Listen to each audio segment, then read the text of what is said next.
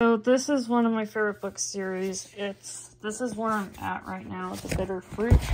And I wanted to show you something cool. It shows this guy.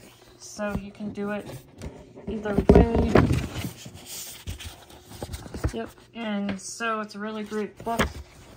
Hold on a second. So this on the front has a character name that's Grace Blackthorn. She's one of the main character. And she um is was in love or supposed to be in love with the, one of the main characters. But really she's not. She's not in love with him. She faked it.